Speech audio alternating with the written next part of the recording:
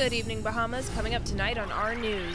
We March Bahamas officials say they will march on. That story straight ahead. A noticeable increase in voter registration the first working day since Christmas. That story coming up.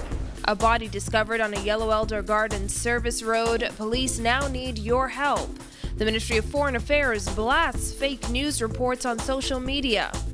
And the protest period for the Boxing Day Junkanoo Parade begins, and it may impact parade results.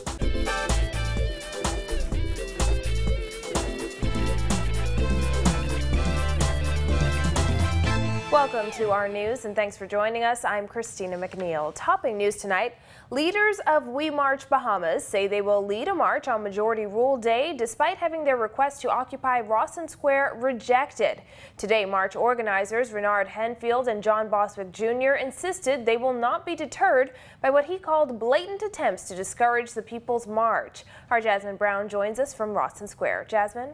That's right, Christina. Both Henfield and Bostwick say they will not be deterred and the march will go on as scheduled. Yesterday, Henfield shared on Facebook a letter from the Cabinet Office denying the group permission to occupy Rawson and Parliament Squares as they did back on November 25th. The letter explained that their march conflicts with another event planned for that day. In that same Facebook post, Henfield insisted that nothing this administration throws at the people or denies the people will discourage them. He echoed those same sentiments while speaking in Rawson Square this afternoon, explaining that their request was rejected after weeks of back and forth.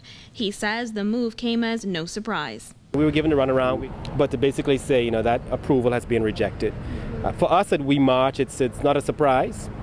Um, we've been dished out a hurdle after hurdle with this whole effort to voice the people's concerns. PLP Chairman Bradley Roberts recently said his party will organize a march to rival that one, but he did not give details on where the PLP's march would be. Bostwick says he doesn't feel the cabinet decision was a coincidence, but he says he hopes the other event planned for Rawson Square has nothing to do with the PLP. To hear now that there is an event um, planned in the square for the same date is beyond disappointing.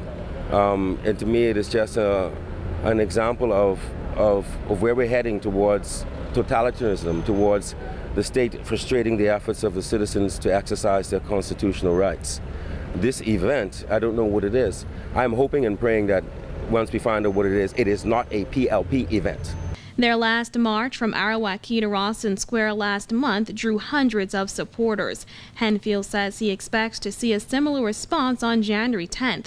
As for if there are still plans to occupy Rawson Square that day, they say that's one of the three options they're weighing. We have three options now. We have the option to march from where we marched the last time and occupy Rawson and uh, Parliament Square peacefully.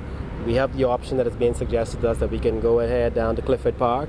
We have another option that we can leave um, from where we march to and go to Windsor Park. Whatever the option are, we're going to make a decision between now and January 9th. But I can assure you, you know, we intend to voice the people's concerns. And we, we don't intend to cower and back down from an administration. and they work for us. Now, as they make their final plans, both men say they will keep anyone interested in the march updated on their next move. Reporting from Rawson Square for our news, I'm Jasmine Brown. Back to you, Christina. Thanks, Jasmine. While officials at the Parliamentary Registration Department have noticed an increase in voter registration since the Christmas holidays. However, the numbers are still far lower than they were at this same point before the 2012 general election. Kyle Joaquin tells us more. People are showing a keen interest now that are getting closer towards the election, and we hope that will continue. That's a good thing. Right. Let me just say it's your moral duty as a citizen of this country to, to register. Just about 75,000 people have registered to vote. Parliamentary Commissioner Sherlyn Hall telling our news team that on Wednesday alone, nearly 400 people registered. But while there are 75,000 registered voters, the figure is still fairly low compared to the same period leading up to the 2012 election when there were more than 100,000. The constituency with the largest number of registered voters, Killarney, with 3,176. So it's incumbent on each person to register early. Do not wait for Parliament dissolved. Once it's dissolved, only persons who registered the day before will be entitled to vote.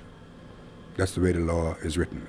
And he said it's not just Nassau, but more people have shown up to register in the Family Islands as well since Christmas. As was the case during the last election cycle, Hall expects a drastic increase in early 2017. When the register closed in 2012, there were 172,128 people registered. But while we're far from that number now, Hall says people shouldn't necessarily compare the situation five years ago to now. As I said before, circumstances change from electoral cycle for electoral cycle. Um, a lot of things change, um, happen this time that did not happen in 2011. Hall says 15% of the registers so far are people between the ages of 18 and 25, the largest demographic. Voter apathy has been a major concern over the past few months. The Prime Minister recently said he's holding off on announcing a date for the election as he waits for more people to get registered. And with political parties gearing up their campaign machinery, Hall encourages all eligible to honor their constitutional right. There's a principle in law which says ignorance is no excuse of the law. Um, so it is all of our duties as a citizen, your duty, my duty, to um, apply ourselves to the laws of the country. Now again, Hall is encouraging people to go out and register because once Parliament is dissolved, that option of going out to register to vote will be no more. Reporting from the Parliamentary Registration Department for our News, I'm Kyle Joaquin. Meanwhile, low voter registration figures are a direct indictment of both the Progressive Liberal Party and Free National Movement. That, according to leader of the United People's Movement, Greg Moss, who says Bahamians are simply not motivated to vote. I think the people have now taken ownership of their politics. I actually think the people are far ahead of the politicians. And you see that in their vote in the referendum, where they rejected the PLP and the FNM, and you see that in their kind of civil, civil unrest, civil, civil um, dissent in refusing to register to vote.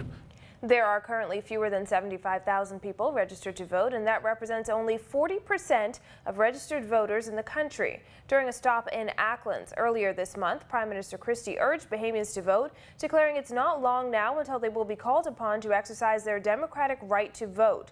Moss says he believes the Prime Minister's pleas are falling on deaf ears as voters are seeing through the empty promises and political rhetoric of both the PLP and FNM.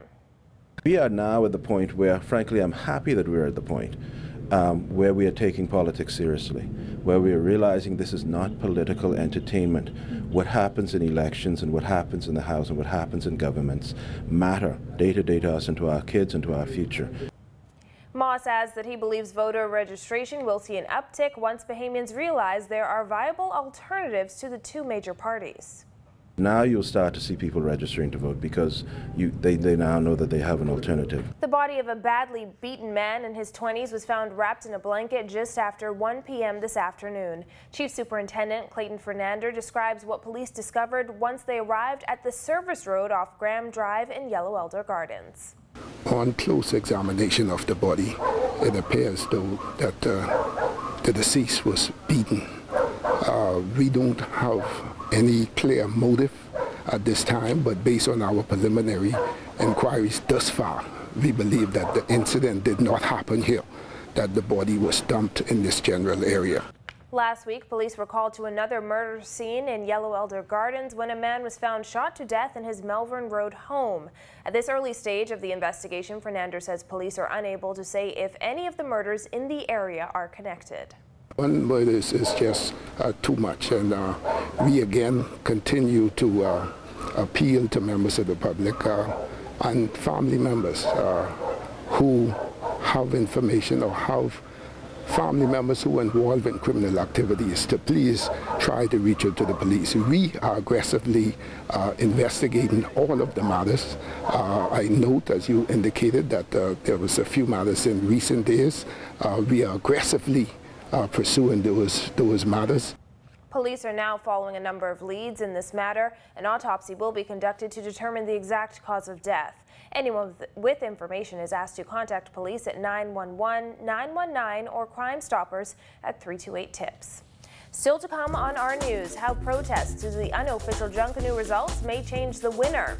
It appeared to be a Merry Christmas for local merchants, and tonight our news takes you back in time through 2016. That's coming up when our news returns.